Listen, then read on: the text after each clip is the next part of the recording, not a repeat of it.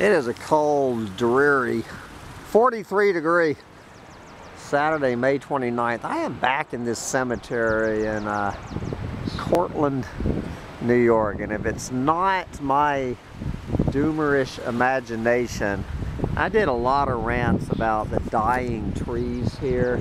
It looks to me like every one of these, every one of these big fir trees is on its way out. The entire, I'm talking,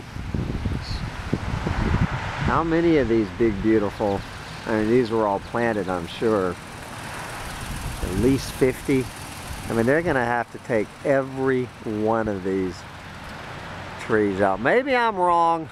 That does not look like a healthy tree to me. Yeah, already dealing with trees falling over at my own place.